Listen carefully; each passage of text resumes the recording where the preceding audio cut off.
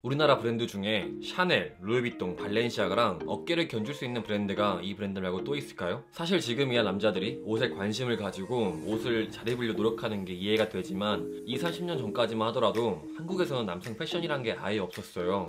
남자를 위한 패션, 패션을 위한 라이프 스타일이 허용되지 않던 시기였거든요. 남자들은 오직 출근할 때는 양복, 군대에서는 군복, 학교에서는 교복 이렇게 정형화된 유니폼만 허용되던 시기였어요. 그래서 이 브랜드를 만든 디자이너는 남자들한테 제대로 된 옷을 입히고 싶다는 생각으로 브랜드를 론칭했대요. 자, 오늘 준비한 브랜드는 정말 많은 구독자분들께서 신청해주신 한국의 대표 브랜드 우영미입니다.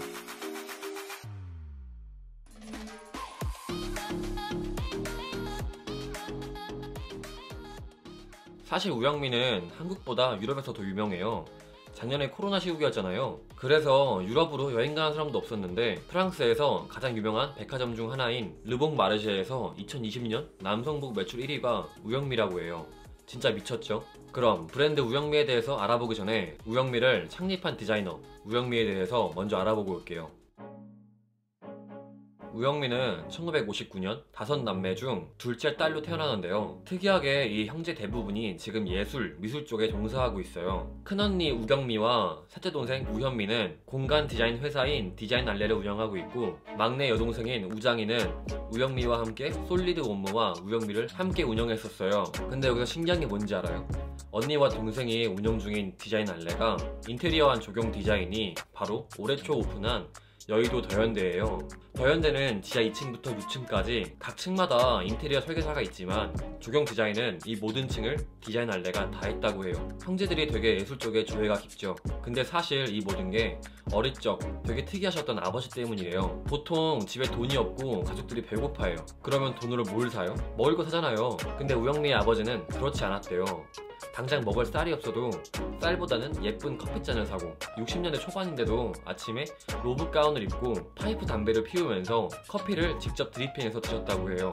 예술적이고 되게 독특하신 분이죠. 그래서 우영미를 포함한 다섯 형제들은 되게 아버지를 이해할 수 없었고 되게 원망도 많이 했대요. 근데 되게 독특하시고 예술적인 아버지의 영향을 우영미는 많이 받았다 보니까 자연스럽게 예술 쪽에 관심이 가게 됐고 결국 우영미는 성인이 되자 패션의 매력을 느껴서 1978년 성균관대 의상학과에 입학을 했대요. 성균관대 똑똑했죠 그냥 성균관대에 다니던 우영미는 남자 동기들이 옷을 입는 걸 봤대요. 근데 충격적이었던 거죠. 솔직히 지금도 남자들 대부분이 그냥 엄마가 사주는 거 입고 집에 있는 거 입잖아요. 근데 40년 전에는 어떻겠어요? 앞서 말했듯 그냥 유니폼, 군복, 양복, 교복뿐이다 보니까 우영미는 이렇게 천편일률적인 옷만 입는 남자들이 안타까웠고 남자들한테 제대로 된 옷을 입히고 싶다는 생각을 하게 됐대요. 그렇게 1984년 성균관대를 졸업한 우영미는 현재 LF의 전신인 반도 패션에 들어가서 일을 하게 되는데요. 근데 이때 우영미는 한국 대표로 오사카에서 열린 국제 패션 어워드에 나가게 됐는데 바로 3등에 입상하게 돼요. 당시 심사위원회는 우리가 잘 아는 프랑스의 티에리 뮈글러, 이탈리아의 미소니, 스티브 잡스의 목폴라를 만든 일본의 이세이 미야케였는데 특히 이세이 미야케는 우영미의 옷을 1등이라고 생각한다면서 만약 자신과 함께 일할 생각이 있으면 일본으로 오라고 했대요. 근데 우영미는 이걸 1년 뒤인 1984년에 알게 되는데요. 이때 우영미는 반도 패션에서 40, 50대 여성들의 옷을 디자인하고 있을 때라서 이걸 듣고 살짝 현타가 왔다고 해요. 그래서 바로 퇴사를 하고 그 후 두 곳의 중소기업을 거치게 되는데요. 이때 이 두 회사가 모두 남성복을 다룬 회사다 보니까 이때 자연스럽게 남성복을 접하게 됐대요. 그리고 이 두 회사에서 남성복에 대한 것을 모두 배운 우영미는 회사가 아닌 자신이 원하는 옷을 만들기 위해서 퇴사를 하게 되고 1988년 30살의 나이에 서울의 남성복 브랜드 솔리드 원무를 설립하게 돼요. 참고로 우영미는 한국에서 최초로 남성복을 디자인하는 여성 디자이너였대요. 솔리드 업무가 여성이 창립한 첫 남성 브랜드였던 거죠. 근데 솔리드 옴므가 창립된 1988년 이게 무슨 해죠? 바로 88 올림픽이 열린 해인데요. 이때가 서울에 전환점이 생기기 시작한 해예요. 압구정에 오렌지족이 등장하기 시작하면서 카페가 열리기 시작했고 해외 문화들이 들어오면서 남자들이 패션에 관심을 갖기 시작했대요. 그렇게 남자들이 패션에 관심을 갖기 시작하는 해인 1988년 딱 이때 오픈한 솔리드 옴므가 이 흐름에 알맞게 잘 타서 쭉쭉 성장하게 되는데요. 그렇게 솔리드 옴므가 런칭한 지 14년이 되는 해인 2002년 우영미는 동생인 우장희의 조언에 따라 파리 컬렉션을 가기 위해 브랜드를 하나 새로 만들게 되는데요. 그게 바로 자신의 이름을 딴 브랜드 우영미였어요.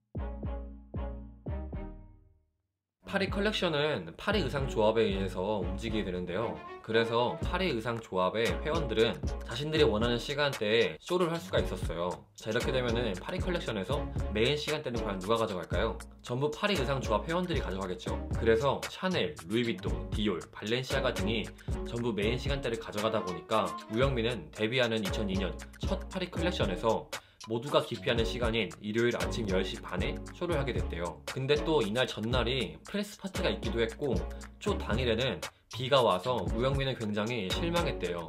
하지만 쇼 바로 다음 날에 프랑스 3대 신문 중 하나인 르 피가로의 유명 패션 에디터인 프레드리크 마르탱 베르나르가 한국에서 온 우영미라는 디자이너의 쇼를 봤는데 왜 이 사람이 파리에서 매장을 내지 않는지 모르겠다. 당장 열어라라고 기사를 쓴 거예요. 대박 친 거죠. 그 후 우영미는 차근차근 유명해지기 시작하면서 2006년 파리 최고급 백화점인 봉 마르셰 백화점에 입점을 하고 4월에는 파리 마레에 첫 번째 우영미 단독 매장이 오픈하게 돼요. 그 후 우영미는 2008년 파리의 해외 지사인 스튜디오 솔리드를 설립하고요. 2011년 한국인 최초로 프랑스 의상 조합의 회원이 되면서 샤넬, 루이비통, 디올, 발렌시아가와 같은 레벨이 됐어요. 이제 우영미도 원하는 메인 시간대에 쇼를 할 수 있게 된 거죠. 그 후 2012년에는 우영미의 딸인 케이티 정이 들어오게 되는데요. 보통 회사에 가족이 들어오게 되면은 사람들의 시선이 부정적이잖아요. 하지만 케이티 정이 만든 게 우리가 좋아했던 티셔츠 18SS에 나왔던 백로고 티셔츠예요.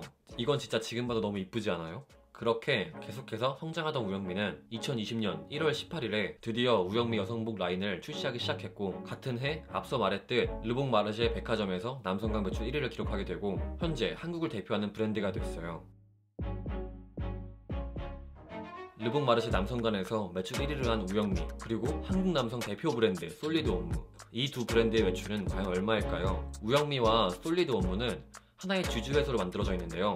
이게 바로 주식회사 솔리드예요. 잡코리아에 따르면 주식회사 솔리드의 2020년 매출은 약 548억 원이고 영업이익은 약 32억이래요. 영업이익은 이전 영상에도 말했듯이 모든 판관비를 뺀 금액이에요. 매출에서 모든 직원들의 인건비, 사무실 임대비, 뭐 관리비, 세금 등 모든 판관비를 뺀 금액이 32억 원이라는 거예요. 이건 진짜 패션 브랜드에서 많이 남는 거거든요. 대단한 거예요, 진짜.